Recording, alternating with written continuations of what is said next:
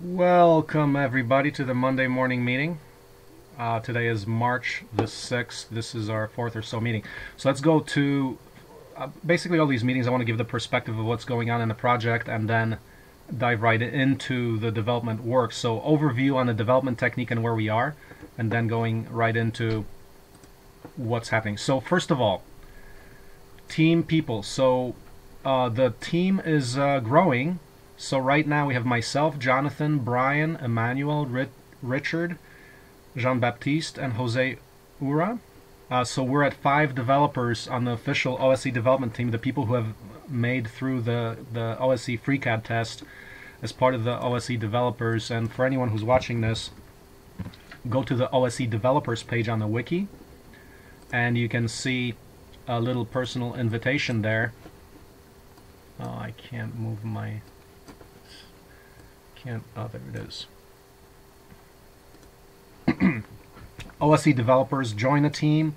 The the plan is to to keep growing the team in a, in a much more de dedicated effort than we have ever done in, in the history of the project.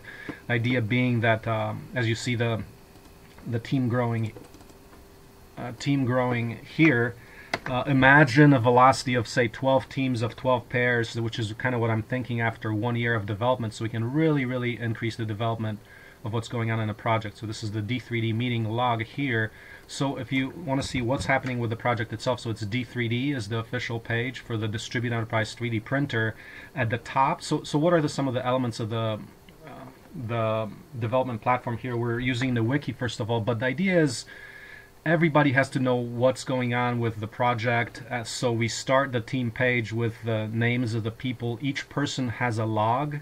So you can click on Emmanuel's log, for example. You can see the files that he's been working on, like up uploaded FreeCAD file right there, etc. So all the work is being tracked so everyone can collaborate. The big point being that we build upon each other's work.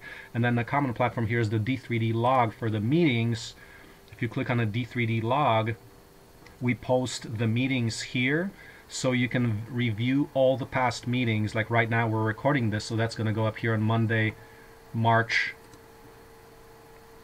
making sure I'm recording so I'm not talking to myself here. Yes I am.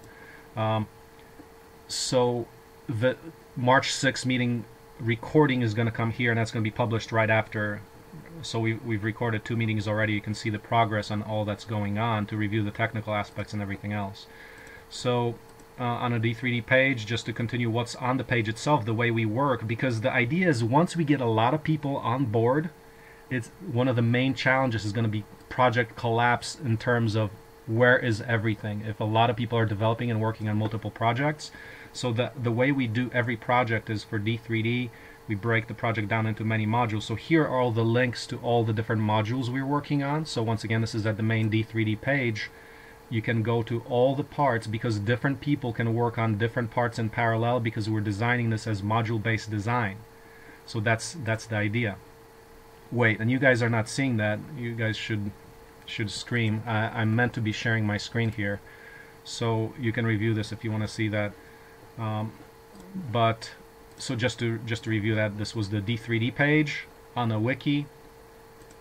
Uh, OSE invitation to developers the statistics. We're seeing the team grow to five people.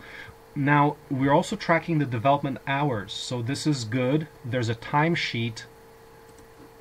If you go to the log, like any person's log, for example, Emmanuel, uh, you go to his log and there should be a link to a timesheet. Everyone should have a link to their timesheet to log their hours every week because we're tracking it, tracking what's happening in the project to get good data on everything that's going on. Now here, uh, you know, just if you observe the two graphs, the number of developers, so going from three to five uh, since last week.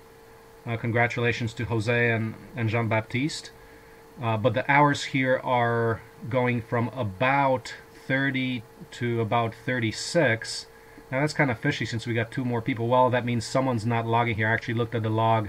Uh, only myself and Emmanuel have log their hours. So everybody on the team, please log your hours so we can see an encouraging uh, exponential spike here instead of that being linear. Please log your hours. We want to track that so we can improve that. So, um, but continuing. So on the project itself, the latest status is let me uh, not share my screen, but let me share the actual physical product. So, so a lot of this is going as tag team between um, the different developers. So let me let me show you what's what's in this corner here. But this is uh, this is where we're at right now. So the axes of the 3D printer, pretty much that's that's what's going on here. 3D printing and prototyping of the frame. That's a CNC metal cut frame with magnetic attachments for all the axes. And and let's go back to the to the screen share. Uh, look at this. So this is the model. This is Emmanuel once again. So we've got the full model in FreeCAD. Uh, parts, there's the axes and the frame at this point. We've got a lot of different individual files.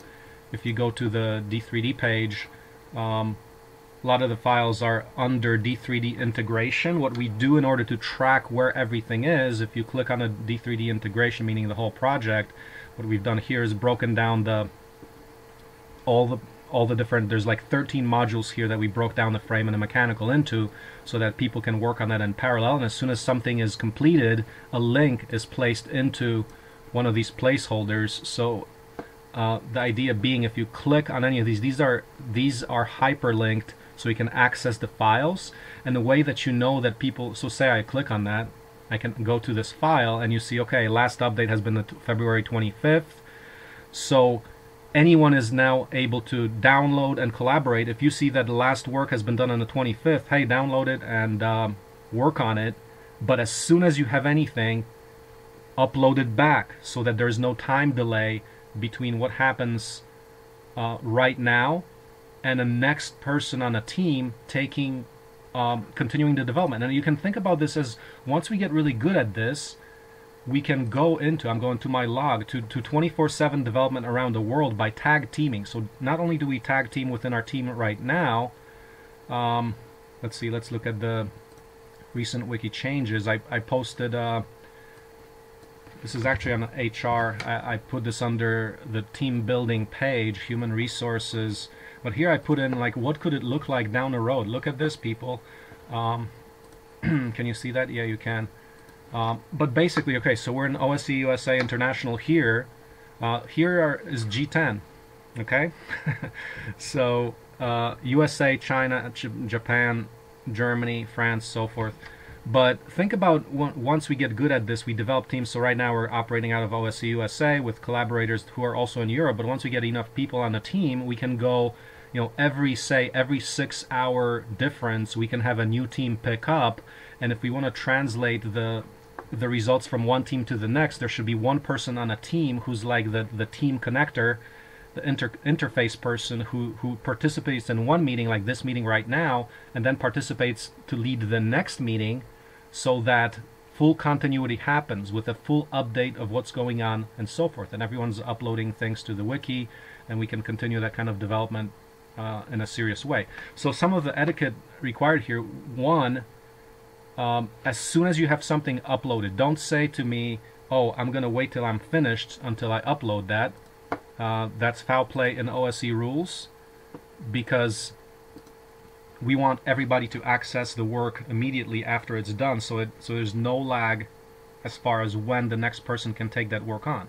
And the requirement there is if somebody downloads a file that's been just published, the assumption is as soon as any work is done, that file is going to be re-uploaded like if you take a look at this file you can do an upload a new version of this file right there.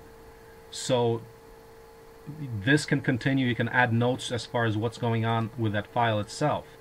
But the idea being no time delay between that. So that's that's that. And another point of etiquette when we're communicating once of course once the team starts growing is um, email etiquette when you're sharing updates, you know, you can update somebody on a team by email. We'd like to go through the OSE network, which is the network.opensourceecology.org as our official development platform. There's still some bugs on that platform, so we're not really releasing that to the public. But we have a 3D printer group on a network.opensourceecology.org, and we're communicating. So if you go to the groups here, uh, you go to the 3D printer group, uh, 3D printer development, and that's that's where we communicate. We can update what all is going on in the project here. Uh, it's basically our log with co comments. This is our social network. This is coming out soon, not for public consumption yet. We're working on some things here. Um, So when you're communicating the email etiquette, either publish uh, constant dialogue on the network that opensourceecology.org, or if you're emailing, don't email files back and forth because not everybody has access to them. Just send a link of a file that's already been uploaded to the wiki. So that's kind of the main main development principle. Go to the wiki as the universal development platform and upload everything there. Point people to there so that anything you point to is a public document. So once again, for the radical um, radical openness and collaboration here, uh, make everything accessible as soon as that's available. None of this, uh, I mean, publish early and often is the is this open source software principle. Uh, don't wait because that time is potentially time lost that somebody else can be working on something if they're a team member and they understand the open open source platform altogether. So let's look at uh, the critical path here. What the what the idea is for the 3D printer itself. The goals are ambitious. So right now we have a, a an April 22nd. So you can hardly see that here. Let me maybe get a little closer in here. But this is April 22nd is the workshop in Germany right now. The date is pretty firm right now. 3D printer workshop uh, for the Kickstarter backers from before, April 22nd, uh, Hamburg, Germany. We're gonna publicize that in about a week. So we're we're gonna take some video and of the machine working, etc. So there's some quick finishing and getting the electronics connected. But after that, we go. You see all these lines here. We want to do a regular workshop on the 3D printer every single month. So that is June, July, August, and so forth. Um, the the concept there is we're encouraging everybody to develop the 3D printer with the idea that they can also run 3D printer workshops themselves once this thing is a good product, solid product. So uh, the idea there is we charge people a certain amount of money over the bill of materials cost for the experience, and that's a meaningful, viable model that people can make a living from. So we're looking at making a regular 3D printer workshop with OSE happen every month if we get 24 people to show up to one of those events, if we're charging, we might be charging something like maybe $600 for the event. Um, maybe the bill of materials cost is like 300 and we might be charging like 300 for the experience, an extreme one day build experience. So if you have 24 people show up at $300, that's $7,200 per event. And that is the way currently we're thinking that we can get the stable cash flow into the operation. Because right now it's um, the revenue for OSE has been very unstable. We do sporadic workshops. They're big and bold, uh, like the like the house build, but they're not regular. We need regular cash flow so that we can plan and plan on building the team and plan on putting more energy with a known budget that we have for operations. So that's the idea. that the 3D printer would be our first regular, very very regular um, ongoing event, followed by, I think that's going to be the CEB press. The brick press is going to be our second product, and we'll see what else rolls out from there. But those are the two products immediately that we're looking at running continuous workshop, meaning like once once every month for the 3D printer, and probably once every month for, for the brick press, but maybe once every two months or so for the brick press, since that at, at present that's a much bigger endeavor. Though once we streamline it, definitely once a month and then down the road once a week and so forth until and to the point where it actually starts taking off and this actually is spreading virally. So uh, the big goal on the 3D printer front here is if you go to uh, December 2017 at the end of the year, we are planning on a grand 3D printer workshop. USA, Europe, probably China or Japan. But we're talking about now filling an auditorium of people building a 3D printer, so 100 3D printers in a single day. Let's think about that. Right now, the global production of 3D printers is 500,000. About it's a it's a it's about half a billion dollar market right now. Um, if we produce 100 in a single day, that is very significant. If that starts taking off, that that model itself of the social production, where people are, where these 3D printers are not not built in factories, so-called, or small operations, but as public events. That's the goal to show that this this model of community-based production, the social learning experience, is a viable model for all kinds of products. That's a big deal. That could be the next economy. It's it's a big concept because people are hungry to produce. If you produce it yourself, by def- the big motivation there is by default that then becomes a pretty much a lifetime design product. So say goodbye to planned obsolescence as when you build something you really control it because you can maintain it then for the rest of your life. Um, that you know, especially like a 3D printer or something like a cordless drill. If you build it yourself, 3D printed and so forth, you can replace parts and keep it lasting forever. Like like we point out cordless drills because we go through them like cotton candy here. I mean they they last about a year or two around here, and some is you know the cheap drills we get last like three months, and then you throw them out. So and to that, and to like if you talk about three, you know 3D printing and printing cordless drills right there, uh, cordless drills are a billion dollar market. You know, imagine substituting that. So this is open source product development and open source market substitution of throwaway goods with lifetime lifetime design, uh, much more appropriate goods. I mean, just the just the uh, cordless drill right here. I mean, that's um, a billion dollar market right there. So significant impact that can be had. So in in general, that's why we're excited about community-based production as a way to produce things where then people become the true masters of technology, and technology in general becomes appropriate technology as as opposed to throwaway uh, kind of uh, crappy technology that doesn't help the world in general because it's polluting, uh, it's throwaway, it leads to consumerism and so forth. So let's take the economy to the next level. So that's a brief intro to, to the way we work here. Module-based design. Uh, all everything is published on the wiki and so forth. So so let's get right into that. That's I think that's enough theory for now. Uh, so let's get right into the development work. So maybe uh, Emmanuel, can you update us where we are on the the frame? So here's what what I have um, on the frame itself. I'm going to share my screen. So that's the that's the 3D printed 3D printed parts here, the full design in FreeCAD. Where are we? What what else is to be done there?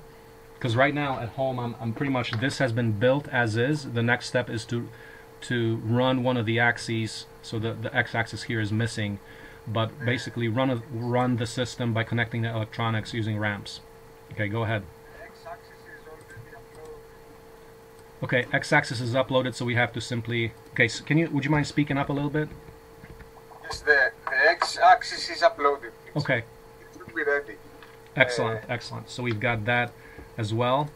Um, what is your plan for the week? Is do you have more to do on the on the project in terms of integrating the the bed, um, Uh, end stops? the end stops needs to be done. Uh-huh. The extruder uh, needs to be changed to a solid object. to a solid object. Yes. hmm It's not solid. Uh, right now it's a mesh thing, so Um, I, I don't know. I think it's a, just a um, not not a mess. It's a uh, I forgot the word. But, uh, yeah, But anyway, it's not it's not uh, not ready yet. not ready. Yes. I don't Okay. know. Uh, the guy who who who is doing that, uh, if he can, maybe. Right now it's a cell. Right. Cell is the word. Okay, Uh, uh, so we're talking about Cedric. Yeah. Sorry. You're talking about Cedric. Uh, it, um, yeah, is that the guy who made it?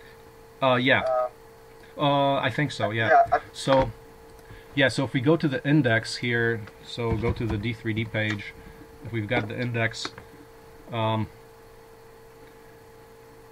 just Yes. didn't want to, to, to talk to him directly. Mhm, know. mhm. Uh, I filed a bug okay, report. so D3D Uh, extruder only, whoa, that's nice. Uh, how has that been done? That's, uh, that's been rendered, very nice. Uh, I wonder how. Uh, is that FreeCAD render, or that could be that could be FreeCAD render, or Some is it? parts are FreeCAD and some parts are imported as SL. But I will. Try, I tried to fix that to a solid. Uh, it took me a little more time than I thought, but I don't know. I can do it, or if the guy who uploaded it, he can make it make it solid. Okay. I don't know. Okay, well that's but that's pretty good though. Um, pretty decent. Uh, there's a little bit of discrepancy there because that that nozzle there that's not that looks like an E3D nozzle. The the one we're using is a just a simple one. So Yes. Uh, little details there.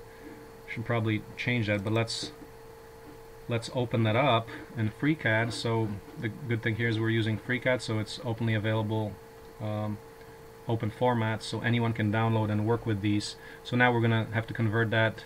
So that's easy, right? Just convert it into, uh, export it as what? As, as STL? No, why can't you work with it? Uh, wait, how is it? Let's look at it in FreeCAD. Why is it a uh, an object that's not? It's not FreeCAD native. You're saying? Uh, some parts are FreeCAD, and but the nozzle, the E3D, is is it's uh, Imported. shell. Uh huh. Yes, it's Okay. So one of the things we have to pay attention to, uh, as this loads up here, is making sure that everything is FreeCAD native format as opposed to like mesh or other. Okay, that's that looks pretty nice. Uh, that looks impressive. Uh, but yeah, the nozzle itself, we're gonna have to probably modify that. But that's a good that's a good deal. That's good. Looks good. The, our nozzle is much simpler. So actually, we have to go. If so, now if we go, okay, how do we know what the deal is? We talked about. So if we go to Okay, let's see. Uh, so I'm recording the screen here, and it's kind of because of those boundaries on the screen, I can't grab the edges now too easily. Okay, so here if we go to um, extruder, so D3D, so if we go to, you know, where do you find this work here? So it's D3D, and then go to the extruder, so here the hardware modules D3D extruder, so we pointed to the, the idea that this is uh, let's see, our BOM, bill of materials. So if we go to the bill of materials on the extruder, and that's the mount there, uh, the idea was to use this very simple extruder in the bill of materials, so click on that, and that gets you to one of these very simple off-the-shelf extruders, which are uh, low cost, and I mean they work, but they're not they're not high performance in terms of they can't get you to work with like the high temperature materials because they're not designed for that but they're good as a great first start where we just mount this motor on our carriage as we um, yeah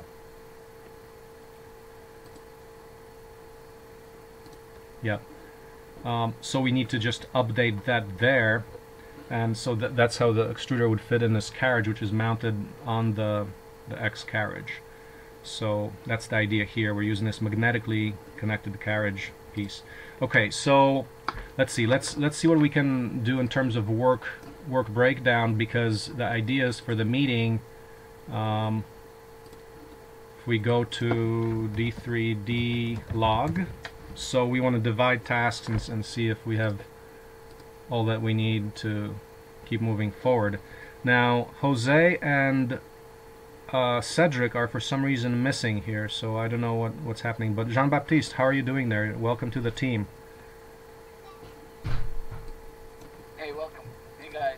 Yeah, good to have you. And um, I was just wondering, Jean, where your log is, because I know you've got your log. So I was just going to that. If you look at that on a on a screen there, uh, are you going to continue your same log with uh, for for this team, or I guess it kind of. Uh, yeah, this is you pretty much you know maybe what you want, might want to do is. Um, uh, maybe rename your old log to graphics log because you're really about graphics as our graphics lead. You, you know, right. uh, and maybe just put your log as starting with all this work here um, on the D3D project. So um, that's the idea. And by the way, uh, I don't know if you know, uh, since you're from Chile, there's uh, the Fab 17 or uh, you know the the Fab Lab conference is happening in Chile this year, I think.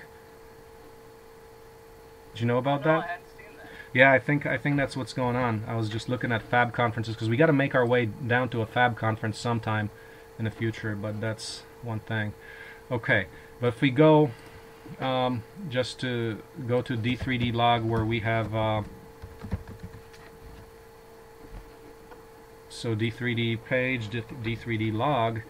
Um, let's talk about what we can break down as the main main task. So so right now I'm in a process of building like I wanted to connect the electronics and get that going working at least one axis like probably by tomorrow today or tomorrow today I actually had a bunch of other things to do so I might get to it tomorrow but next thing is to start connecting the electronics and the, the probe. What we're missing right now is the software part. Not like it's a big deal because uh, Marlin, the open source software, is well developed, including the ability to do um, height probing.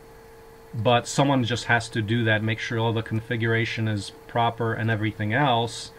Um, the idea being for the specific configuration that we have, all the different pulleys and, and size, dimensions, all those settings have to be put in to the Marlin software, which we are, uh, that's simply a task that has to be done. But as far as breaking down um, further work, how can we do this? So let's talk about it.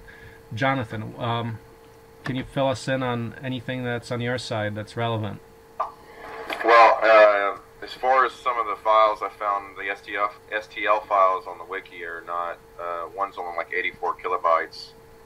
So, in being able to download the newer files, I think we might have to re-upload them on some of those. Uh, which ones? Are you talking about the print files for the the three? Right. Universal axis stayed the same. The axis simple, um, that one I think might be okay. I was just on one just now, and again, it was not allowing for me to print because obviously it wouldn't allow for the load into Cura to do it. So. Um, so are you looking at a D3D page and then integration? Because I think like most of the stuff here, well, no, you need um, you need the individual parts. So, I mean, besides the universal axis, what is there? Um, what else I mean, really, if okay, I was you... just on there. Let me find the um, actual file itself. That one was, yeah, it was the Universal Axis carriage side STL was only 84 kilobytes. So okay, the Axis Axis carriage side was only 84 kilobytes, where the previous file was a lot more than that, like 800 something kilobytes. Anyway, it's different. The file is not it needs to be corrected. But I've okay. got all my parts in, and it's most of my parts in. The only thing I got to work on is my frame. I've got to find someone who can actually cut out cut out my frame. Yeah, right. So let's take a uh, look at what's the discrepancy on the files there. Um, so, so you're talking about the universal axis with magnet holes, like you see on my screen? this one here. So carriage, idler, and if you click on that file, see what it brings. It, the one, yeah. See if you. Uh, 84 kilobytes. Yeah, see the one is like 278. I tried loading it up and it won't load up. The other one won't will load, load up, up. So. Well, um, carriage side. Well, I mean, I maybe, just... maybe it might be my software, but see if you can try to load that into Cura, but I can't. Okay, that's interesting. So I didn't have any issues with it. So so let's see. Let's um. Okay, it might be something with my software, but like I said, I couldn't load it into uh, into Cura to do it to print it out.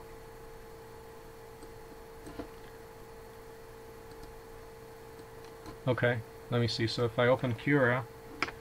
Um, I can open up a second one because I'm actually printing out as we speak the extruder mount which has been corrected for the orientation. Um, now I think um, so Cura you can open it up through the command line here. Get a new window. But that just downloaded here so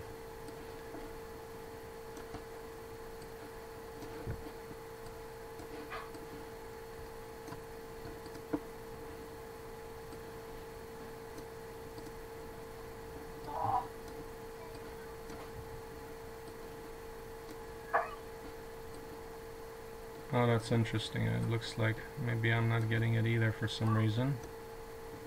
Let me try to close down all this stuff. Okay. Well, I guess the only request is just to ask if uh, Emmanuel could actually reload that file. Let me see. Let yeah, me see. Yeah, let me take a look at that because uh, I. That's interesting because I know I've been printing this stuff and uh, it worked for me before. Universal axis carriage side, right? Right here. Yeah, right here. Oh, that's weird. Uh, what's the difference between that one and the last one?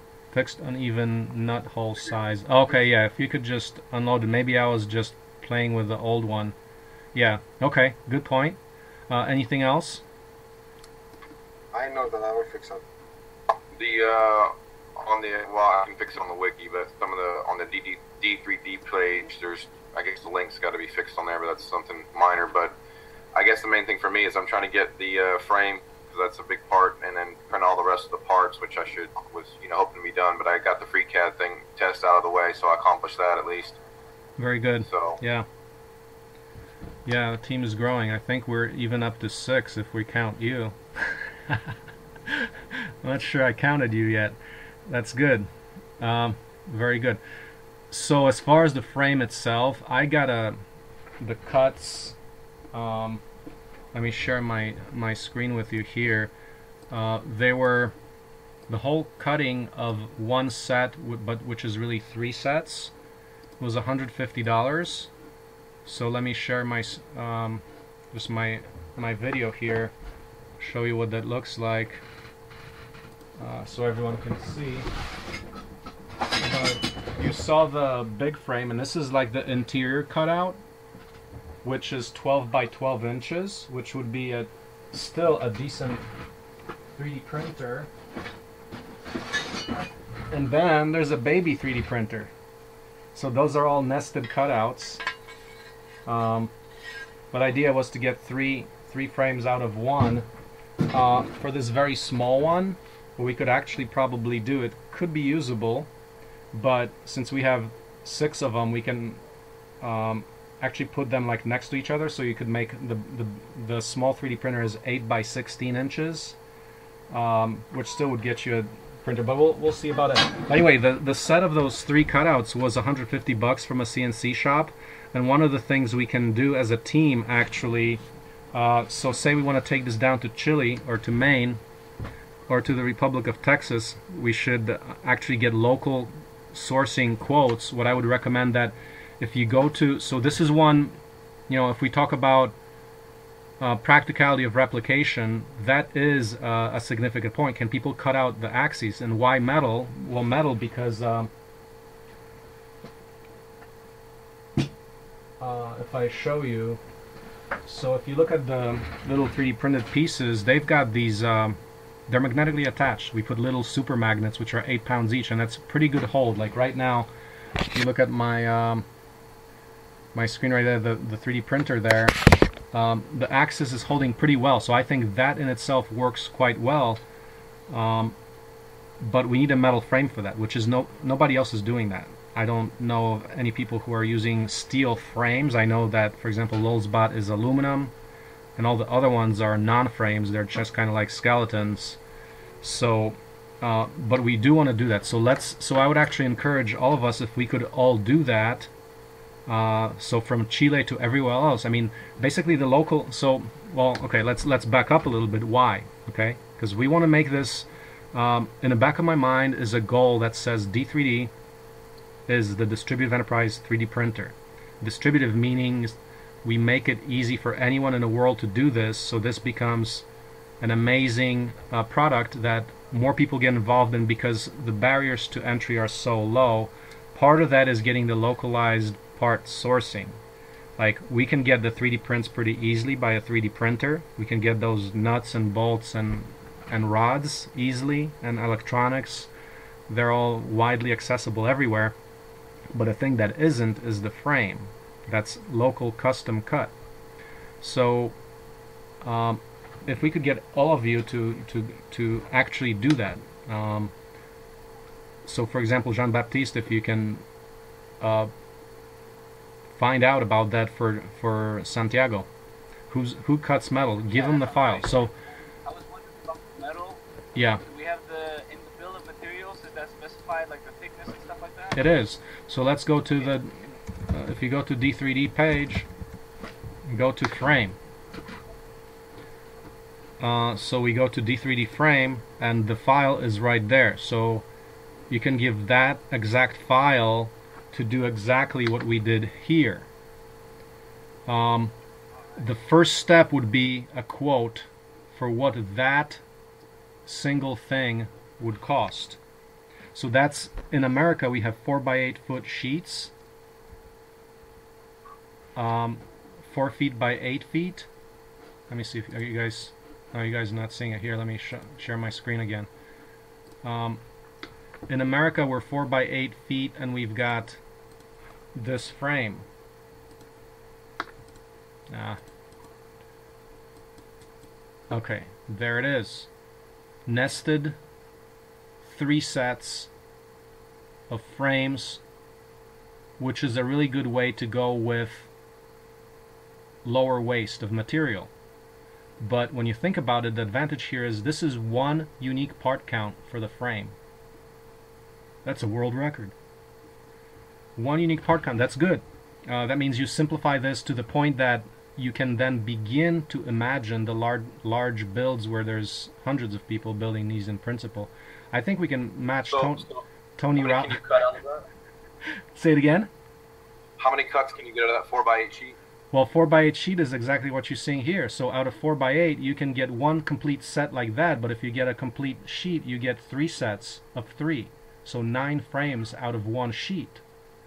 Now this cost me right now Is there 150 any waste to that? Well, I mean the inner cutouts, but the inner cutouts could probably be used for like the mounting for like the controller or something, or if you actually put them together, uh, six of them. I mean, you can make a tiny little 3D printer out of them too if you want. If you're you know if you're crazy, if you shrink down the axis even even more, or actually see the thing about the magnetic frame, you can attach the axis not on the inside of the frame but on the outside of the frame. So even with a tiny frame, if you attach the axis on the outside and therefore you buy yourself more space, you can have a tiny 3D printer like that too. And we can possibly talk about shrinking the parts even more. But the downloads are here. Um, let's see what else is relevant on this page here. So here's an example of the magnetic mounting. Uh, this is all, I mean, this is back from Facebook on the OSE Workshops Facebook page. But right here, for example, you see the connection is strong. Like by just holding onto those magnets, I was able to pick up the entire metal, which is seven pounds. Not too heavy, but considerable. Uh, you can pick up the entire metal by just picking up the through the magnetic connection by picking up the metal piece, the the 3D printed piece. So what we can do here, let's start a section here for local sourcing. This could be a crowd challenge for everyone watching this video. For anyone watching this video, take this file and email that to a local CNC metal shop, meaning a metal shop that has a CNC plasma or torch table, CNC torch table, meaning that they can cut that out from thin steel. So the idea is in America we used 11 gauge. Actually this what I have right here is 10 gauge which is 0.13 inch. Uh, for metric sizes, I'm not sure what's the standard size of a sheet, but um, 3 millimeter would be about the right. That's about 1 8 inch. This is nominally 1 8 of an inch.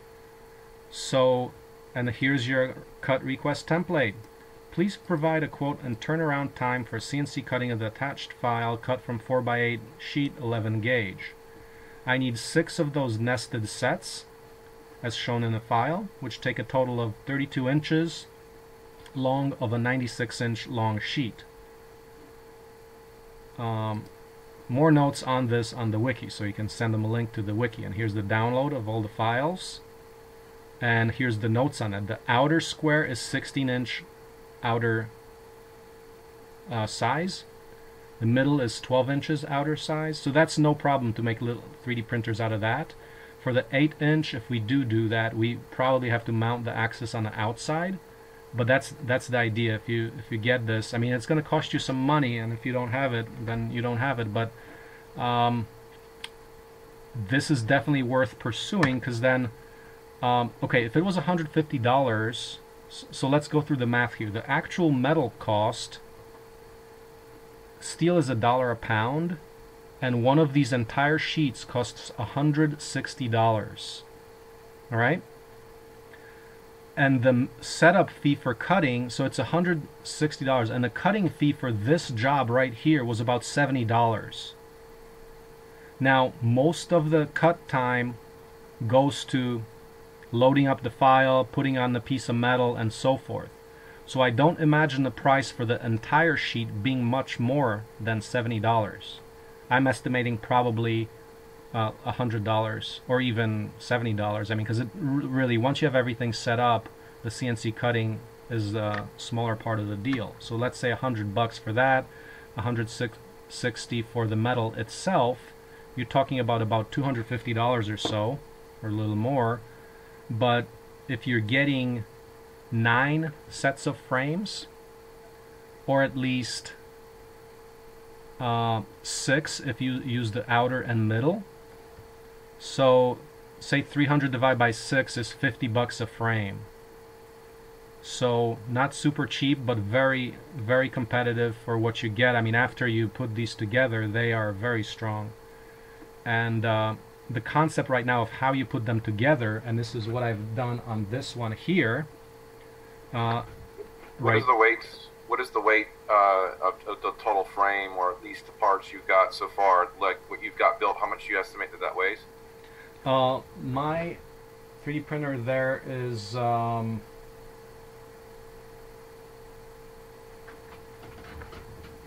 entire sheet is 160 pounds divided by each of them are about equal divide 160 by 9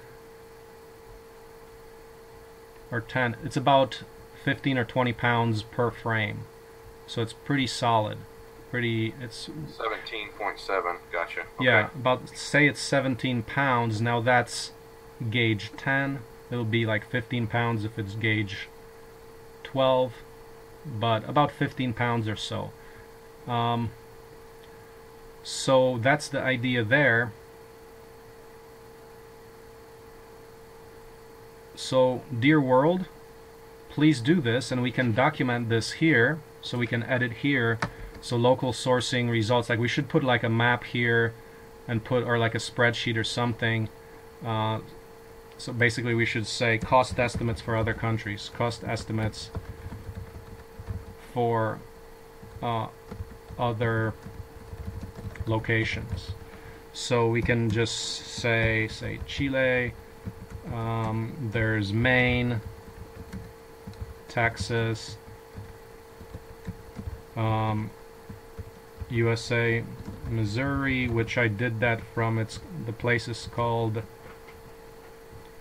Seaman and Shusky St. Joseph Missouri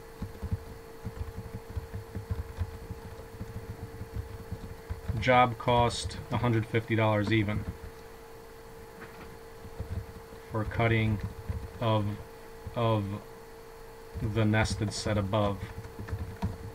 So $150 is what that is. And once we have the CNC torch table, this is one we're, why we're going metal. It's also easy to cut with our own CNC torch table once we have it, and that means you're paying 160 uh, for the set of, of say nine frames. So it's under 20 bucks per frame once you have the CNC torch table, which is very reasonable. Uh, I'm actually not sure what the Folgertech Prusa, the the aluminum extrusions are, but I don't think they're actually any cheaper. They're about two dollars, or I think maybe two or four dollars a foot, if I remember. If it's two dollars a foot, two, four, six, eight, ten, twelve, it's it's about twenty dollars for the Folgertech Prusa, that which we did last year. So it's not any cheaper if you use the aluminum and the solid cubic frame gets you an incredible strength. And the way to build that is you put the bottom piece on and the four sides, hold them together, put a piece of five minute epoxy, dribble five minute epoxy upon the top corner, and that's it. And let it fall down the edge as far as it gets to, and that gets you a lot of coverage. It's basically five minute epoxy, which is 3000 psi strong. Um, that's how I did this one, and I think we can do it without bolting. Uh, I was kind of thinking, well, can you do it with bolting, without it? Because bolting is the easy way to do it. You just bolt it. But if you hold it using a little clamp or magnetic angle uh, in the upright position, just hold the thing together. Put a drop of epoxy on each top corner.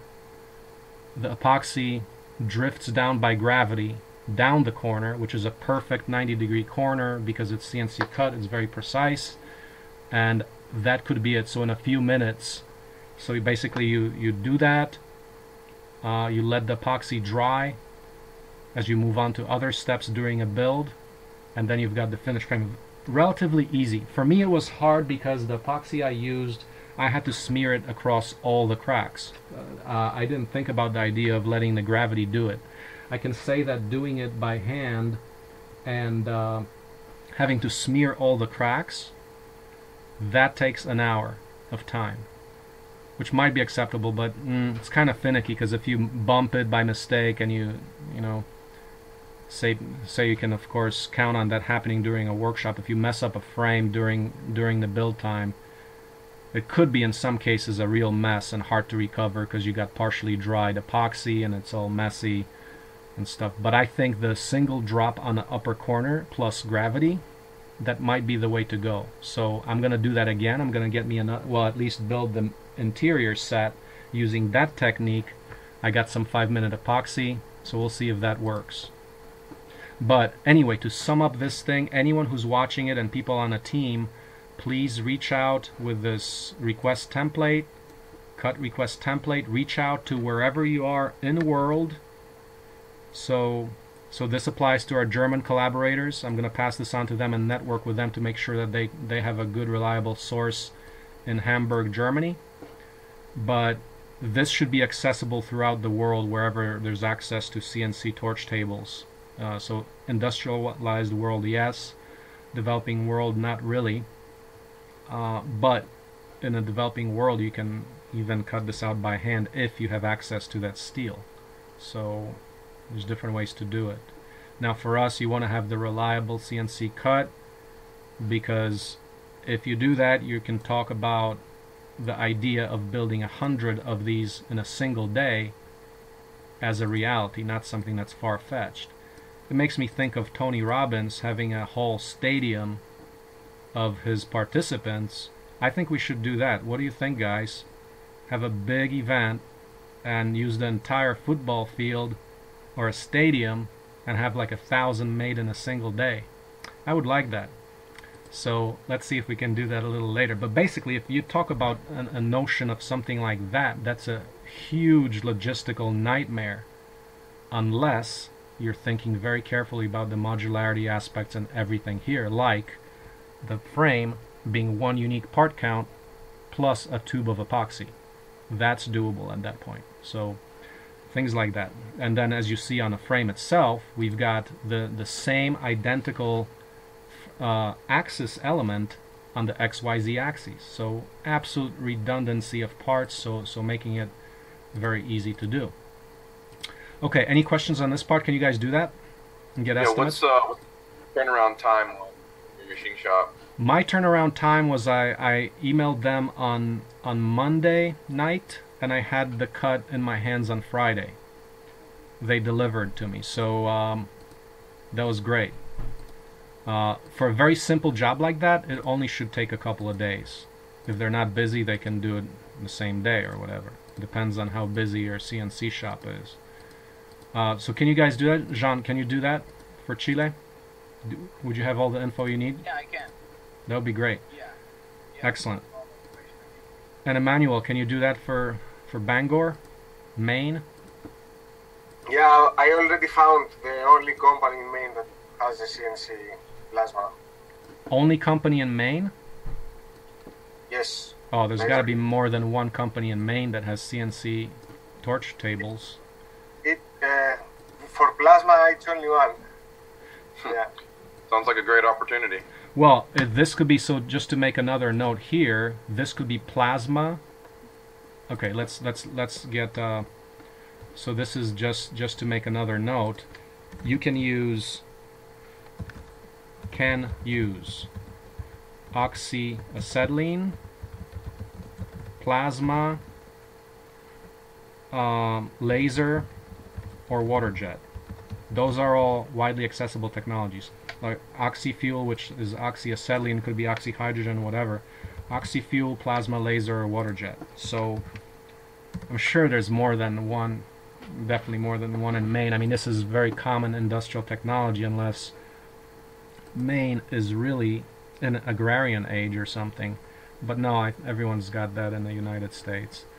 Um, so, yeah. And besides that, let's let's go back to so let's do that, guys, and then um, and anyone else who's watching it. So if you watch this, contribute to the project. That would help because we're trying to spread this all over the world, make this the most widely replicated thing in the world. If it works, I mean, the idea is we want to make it easy for everybody if this thing is working, and there's no evidence that says it wouldn't work. Uh, so far, the, what we have done is great. The axes are working excellent. The idea that you can have the same axis for all the axes, that's a great idea, and so forth. So let's go now to D3D and let's talk about work breakdown for all of us here. So what we can commit to. So what are some of the things? I, for me, I've got my hands busy on putting the electronics on and running the thing. Um, so D let's go to D3D log. How do we break this down? uh, Emmanuel, how much time do you have left on the CAD integration work? Um, it's not. It, it's details. I don't know how much time. Uh, Mm-hmm. so depends. Do you want to put the belts? Yeah, yeah. We want to put the whole thing together such that we can go from like if we make a an instructional video or a promotional video, we can get a nice render and a nice uh, exploded part animation and things like that. So for that, you want to be as complete as possible. So do I would say uh, do one possibly do two versions with where one is like the simplified version and the second one like maybe you don't have all the bolts in there because it might be really slow to manipulate and the other one is the complete with all the details so it's like fully technically correct and everything that uh, but but since we're still testing how capable FreeCAD is to, to do that like because the idea is that it might slow down so much it's just really painful to work with so keep the two routes open but definitely get as much of a complete perfected model that's good for publicity reasons, not only for real build instructionals, but also for publicity, like rendering that in Blender, for example. Or in Blender, modifying that so you can show how you can like scale this, extend this on one axis or another axis. That could be a graphics project, you know. At that point, once we have the CAD file, we can get a Blender person. So we should recruit for some Blender people to the team uh, but then they can manipulate it, like make animations or make modifications in Blender. Once they have the technically correct base, they can really manipulate in all kinds of ways to get really fanciful uh, PR material. So that'll be that'll be really good. Um, like for example, if you watch um, the Prusa i3, which is the open source, the original, they have a very nice promotional video where they show how the entire printer works. It's kind of a flyby in within the graphics. It's a virtual flyby of the entire machine. So that kind of stuff is that's something to that effect is what we want to get uh, once we have the complete model. So the complete model is important, um, and also possibly like the color scheme. Uh, how's the color scheme? Maybe kind of looks weird right now. Maybe make it more um, more realistic, like maybe bluish or black, because we're gonna have it probably paint the frame black as the black beauty um, maybe differentiate the rods uh, to be metallic color and so forth because right now um, aesthetics are a little not there we should make it uh, or maybe we can give it to somebody else to finish up maybe you do the technical and the end of the day we can get a graphics guy like Jean-Baptiste to, to make it pretty Um, and actually, another thing to do, which would be a, a big big priority, is to do a an infographic on that. Yeah, Um,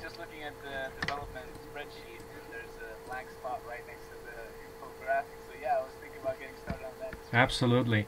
So that would be a perfect task. I mean, since we're pretty decent on the technical front here, I think, uh, given your skill set right now, I think we could definitely use that. Um, so Emmanuel, we're gonna have finish frame int frame CAD plus integration. Um, okay, so Richard, who's not on here. But we should be looking for a blender guy, recruiting a blender guy. Find, recruit a blender person because we could really use some help on that.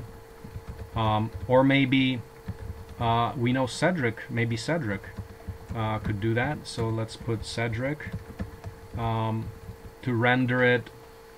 Or once the complete, so co- collaborate with Emmanuel, but once the complete frame is there, once again, Emmanuel, on your log to make it easy for everyone, just upload yeah on a running basis don't you know as soon as you're done for the day upload that thing so that uh, that would be important for the the blender guy like say you guys are working together uh, then you can you know the blender guy could get started as soon as possible with the rough sketch and then they can you know keep updating the file but as long as they get the workflow down it'll be a good thing um, So- Everything's uploaded right away.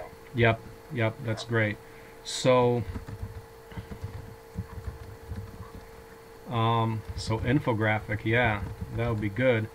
And for that, we should basically uh, start with the uh, on the internet. We've got, you know, you, you should what you should do is start by going through all the information that we have. Um,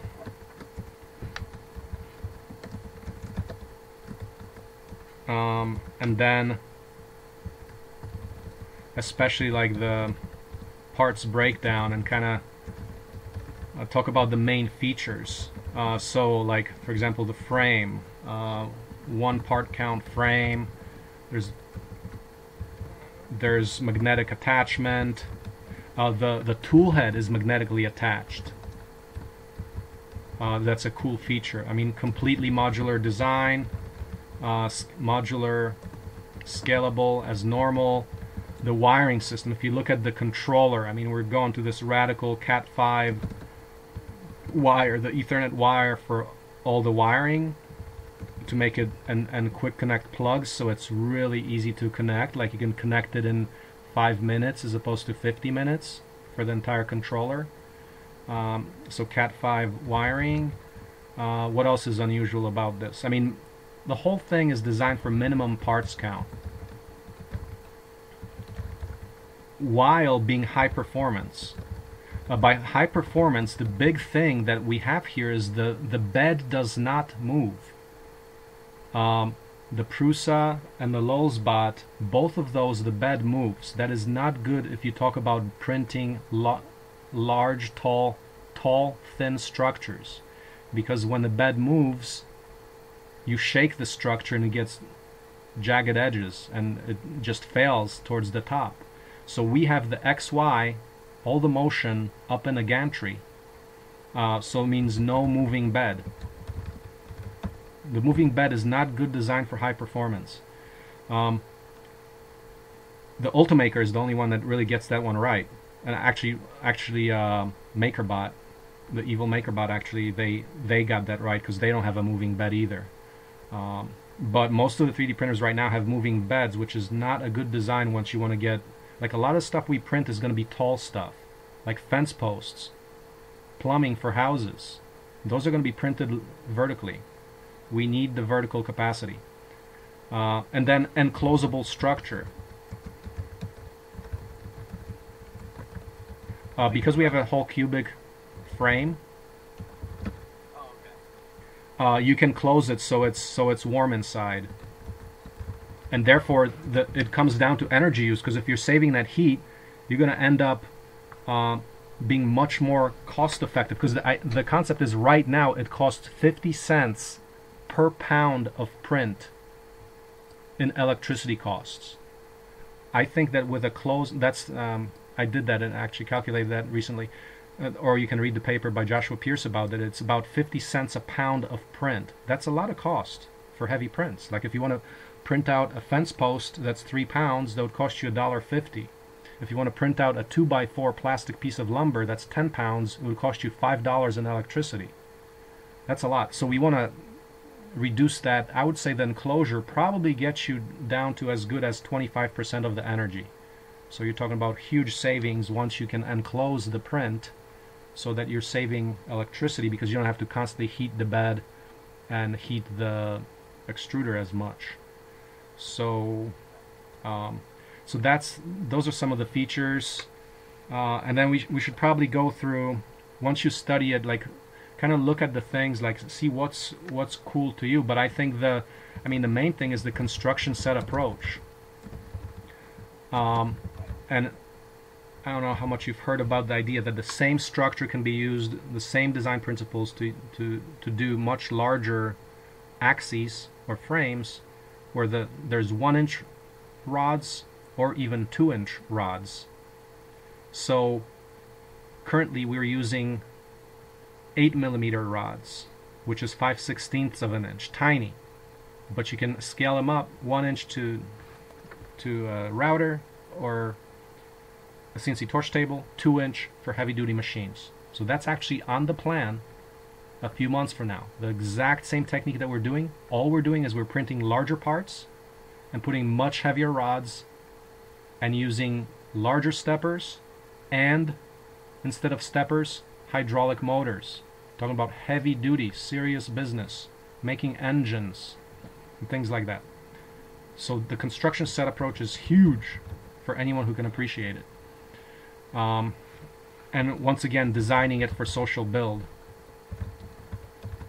uh, social production extreme manufacturing um, um, I'd like to personally, I'd like to see a stadium, stadium scale build.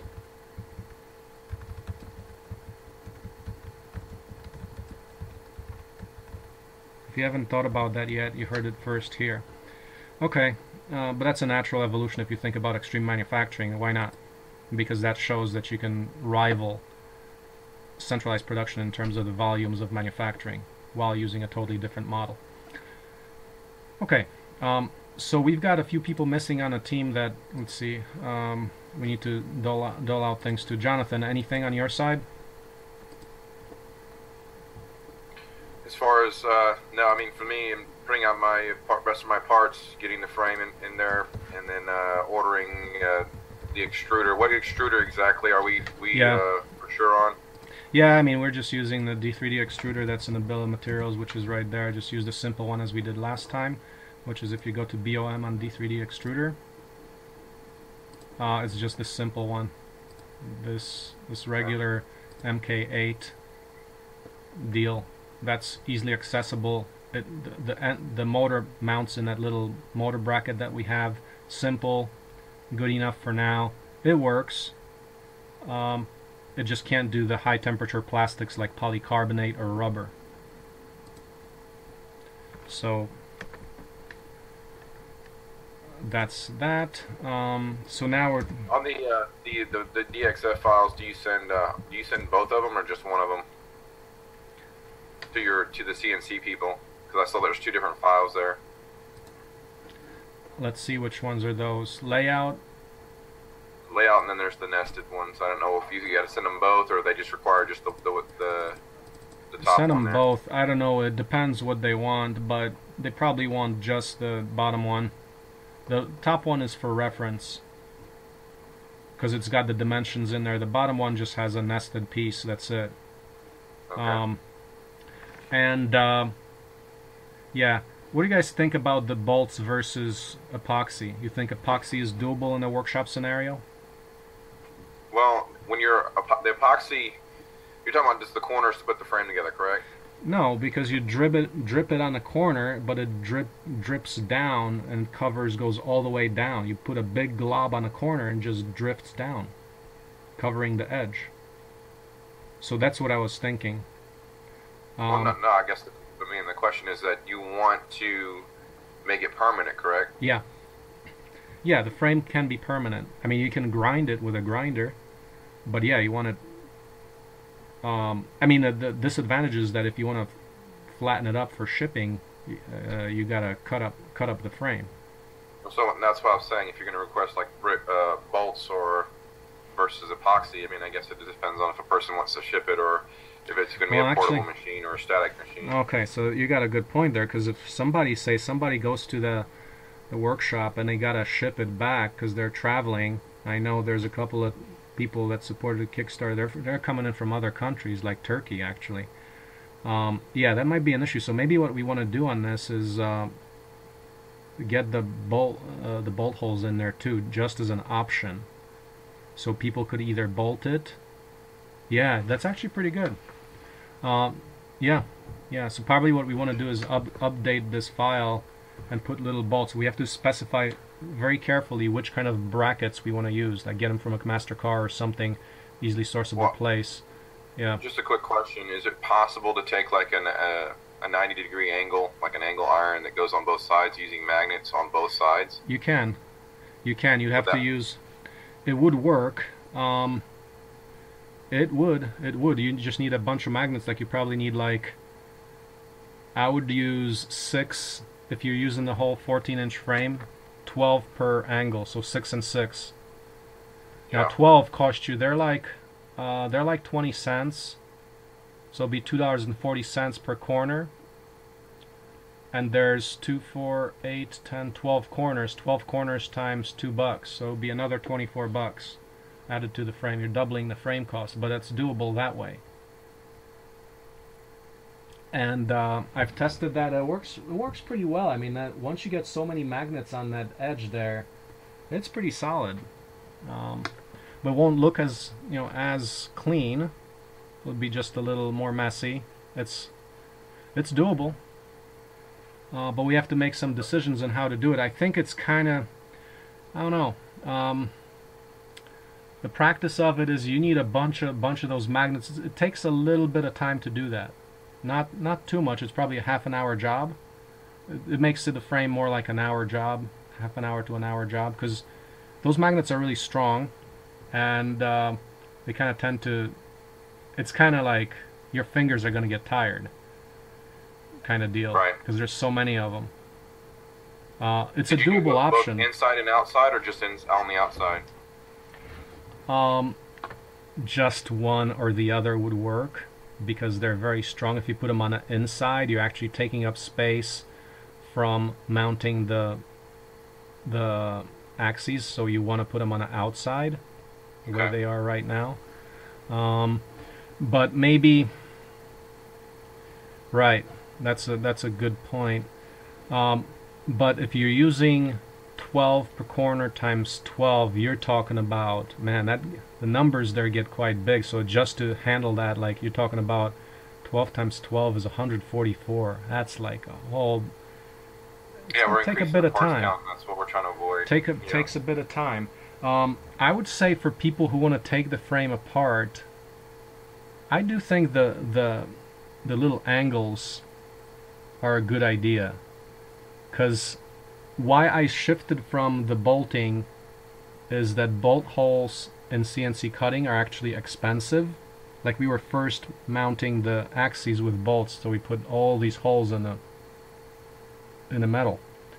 Uh, because piercing is a hard part in in metal cutting, so they charge you more for that typically. So I was trying to avoid that. But just to have like you're talking about eight holes per piece, so you got two on each side and there's six pieces, so it's 48 holes. Um, it's probably going to add another $12 to the cost of the frame. That's not bad. But I think the I magnet think like idea is a great idea. I mean, it's a pretty you like it. idea to be able to take it apart, put it together, or at least assembly is a lot easier. No, so- I mean it's it's uh, so I guess you you really like that idea because of also the modularity thing. Yeah, I mean the, the magnets are an amazing idea because They one are. assembly is and then de-assembly. I mean, Yeah. Yep. uh, yeah, I think that's Yeah. really to, to get on a larger scale and you got a bunch of people. Right. Right. Um. Yeah. Yeah. Well, I guess I would have to get more magnets because I only got like 130 magnets here. I wasn't really thinking about that, but it's it's doable. Uh, at the little bit of extra expense, expense of like 24 bucks, not too bad. Um, I mean, it's quite acceptable, but if you want, you know, if you're really, really trying to go for low cost, you can do it otherwise. So you might have different options. So question would be, do we support all three options as acceptable? So maybe what we should do is, yeah, maybe. Um, I do think that there's a big attraction. Like people are kind of like psychologically speaking, people when they see magnets, they're like, yeah, cool, you know, like magic magnets.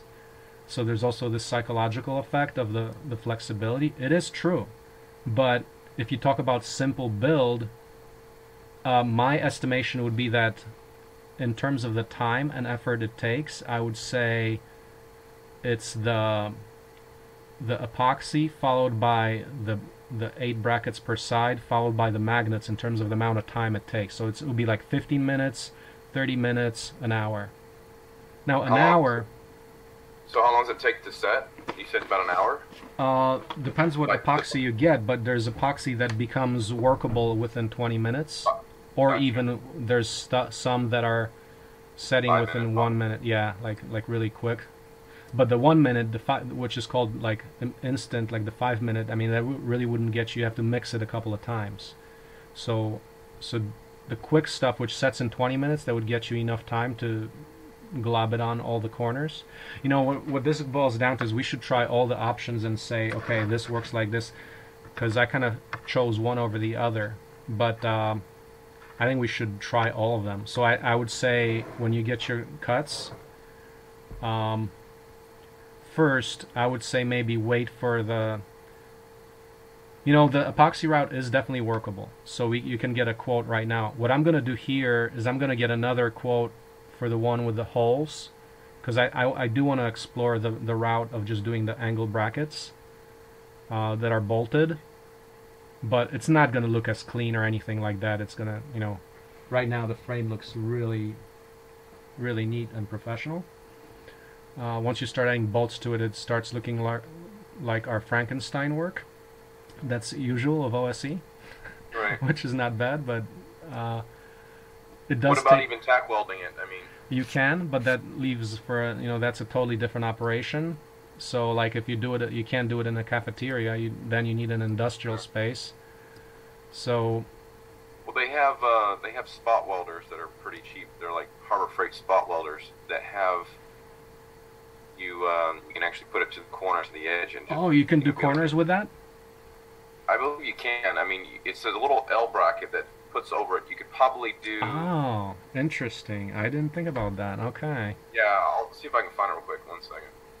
Now that would be interesting because if you don't have so for for welding, the thing that why you can't do it in an auditorium is because it has spatter and it you know could catch on fire. But spot welding is clean. It doesn't. Um, it's a different machine. We could. Oh wow, interesting. Um, yeah, we can. I, I would say we go actively to find out what the deal with spot welding is. Um, yeah. Because that would be, I mean, if you talk about speed, that's probably going to be the fastest. Like, snap, snap, snap, snap. Yep. It's probably going to be faster. Have to think about that. But anyway, I think we could still get the get the estimates because I do believe the one valid way to do it is the epoxy. Like my version here is epoxy. I think it's great. Um, but we should also explore as forks of this and kind of decide on which we want to actually support as the official recommended versions. And of course, anyone's free to do whatever they want, but uh, we should know solid data on okay, what, how much time does it take to, do each route. Um, that's the kind of stuff we want to provide. Some solid data on that. Okay, um, sounds good. Uh, so what else? Um, we've got Jose Ura. He didn't make the meeting here. Um, okay, but that sounds like um, I think we've got plenty to do for each of us. Um, whoever has not did the time done the timesheet, please do that. Uh, Cedric, I know, hasn't done that. So please fill in the timesheet because the idea on the timesheet is I'm not making any numbers up if it's not recorded. Um, that's the data that goes on the graph because we can't pull information out of thin air. So that graph is an accurate graph of the hours logged on the timesheet. Uh, that's the only thing. Otherwise, to wrap up here, so Emmanuel finish up the CAD. Richard, uh, I'm meeting with Richard tomorrow, so we have the the HR human resources stuff meeting tomorrow at 1 p.m. Cedric, we'll have to check in with him. John, do you need anything um, else? You think you you can start on an infographic, or or we should probably talk about more the uh, wording? Yeah. Yep.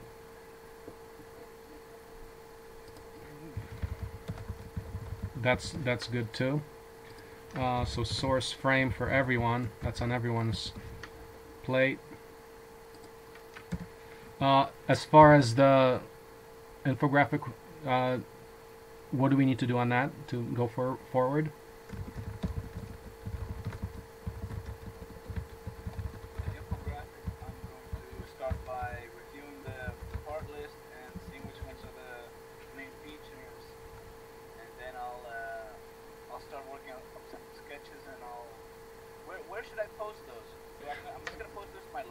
Yeah, yeah. Log would be the best, and then then feel free to add that to the main D3D page, just D3D. But yeah, log is the first place. it to the D3D page. Uh huh. Uh, I might help on an infographic text, and then do the electronics. We really need somebody on electronics, uh, not not electronics, but the code, because for now we can use the standard off-the-shelf um, Marlin code, but if we want to do custom calibration procedures, which make it automatic calibration, like fully, there's ways you can. We need to do some programming on that. So anyone who's listening, who's a programmer, join the team here. Uh, right now, we would have the capacity to do automatic bed leveling using off-the-shelf code, but you have to still calibrate it like once um, using a procedure that takes a little bit of time. We can automate that procedure if we do some custom coding. So that's the invitation for the electronics or the, the control code. Um, so that's that. Um, let's see. Emmanuel, you have everything you need to get get going.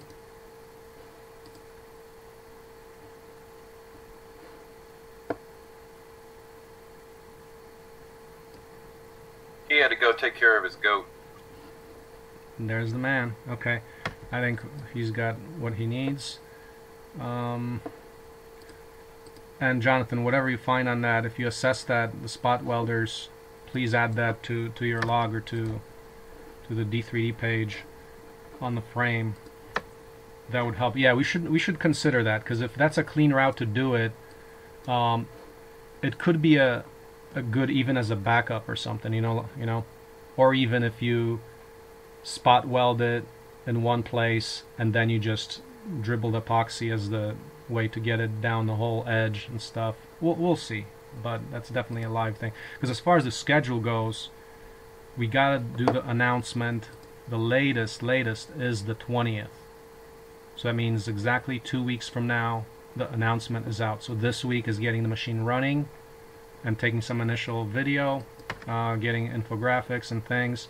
Next week is is like do the video, the promo video, and then publish that by the 20th. So finish up this week, um, publicity work next week, and we're publishing that on the 20th. So for anyone's listening, otherwise show up in Hamburg, Germany. We're posting that on Eventbrite on the 20th by the 20th, which gives us one month and two days before the event. And I got to get some tickets to get make get myself out there and so forth and look forward to all the Kickstarter meeting the Kickstarter supporters. There's three of them that are coming to that workshop.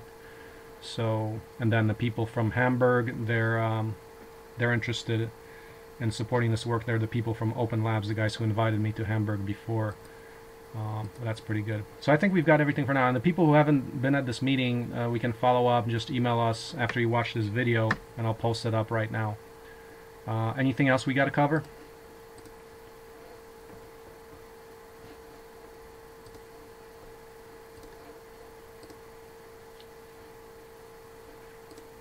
I think we're pretty good for now. So if any questions uh, arise, let us know. We'll continue these meetings, keep building the team, and moving forward. So thanks a lot, and we'll see you soon.